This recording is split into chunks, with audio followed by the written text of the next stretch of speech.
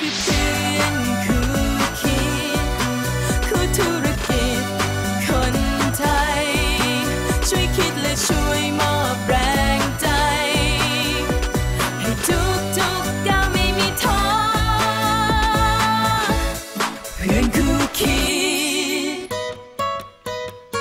จะเกิดอะไรขึ้นเมื่อเฟอร์นิเจอร์ที่ดีไซน์ดูเหมือนเรียบง่ายและธรรมดา จะมาทำให้คุณรู้สึกว่าชิ้นนี้มีเซอร์ไพรส์ค่ะ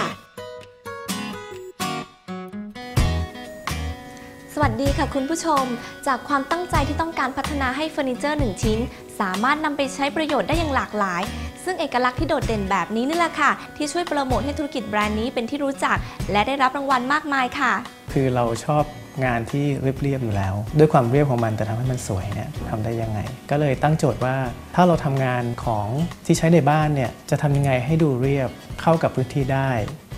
แล้วก็มีฟังก์ชันการใช้งานซ่อนอยู่ หลังจากเกิดเหตุอุทกภัยหนักเมื่อปลายปีที่ผ่านมา ส่งผลให้ความต้องการซื้อเฟอร์นิเจอร์จะมีมากขึ้นในปีนี้ คาดว่ายอดขายในประเทศน่าจะเติบโตไม่ต่ำกว่า 20-30%ซึ่งภาพรวมของธุรกิจเฟอร์นิเจอร์นั้น มีมูลค่าไม่ต่ำกว่า 55,000 ล้านบาทเลยล่ะค่ะ พยายามใช้พื้นที่จำกัด ซึ่งเป็นโจทย์ของปัจจุบันให้มีประโยชน์มากที่สุด และในรูปแบบของการมองเห็นเนี่ยสบายตามากที่สุด ดีไซน์เรียบง่ายมองแล้วสบายตา คือความรู้สึกแรกที่พลอยสัมผัสได้กับเฟอร์นิเจอร์แบรนด์นี้ค่ะ แล้วเมื่อทดลองใช้ดูก็รู้สึกแปลกใจกับรายละเอียดเล็กๆ น้อยๆ ที่ซ่อนอยู่ในเฟอร์นิเจอร์แต่ละชิ้น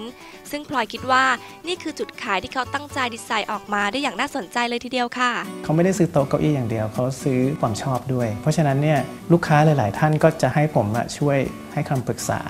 คำแนะนำในการวางรูปแบบเฟอร์นิเจอร์ให้เข้ากับคาแรคเตอร์ของบ้าน กลายเป็นกลยุทธ์ที่ทำให้ผู้แทนธุรกิจรายนี้ สามารถครองใจลูกค้าได้ค่ะ ซึ่งคุณกวางยังบอกกับพลอยอีกว่า เขาใส่ใจกับทุกรายละเอียด แล้วทำงานกับลูกค้าเหมือนทำให้เพื่อนของเราเองค่ะ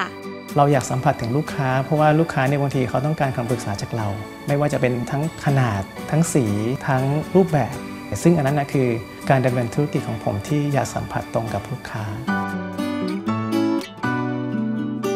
มื่อเราฝันอยากทำธุรกิจ แล้วกล้าที่จะลงทุนทางความคิด ตั้งใจลงแรงอีกสักนิด ความสำเร็จก็รออยู่ไม่ไกลแล้วล่ะค่ะ คุณผู้ชมคะบนโลกธุรกิจยังมีพื้นที่ว่างให้ความคิดที่ดีเสมอ ไม่แน่ค่ะ ผู้แทนธุรกิจคนต่อไปอาจจะเป็นคุณก็ได้ค่ะ สนใจข้อมูลดีๆ แบบนี้ คลิกเข้ามาอ่านเพิ่มเติมได้ที่ www.bangkokbank.com เพื่อนคู่คิดค่ะสำหรับวันนี้พลอยลาไปก่อนค่ะ สวัสดีค่ะ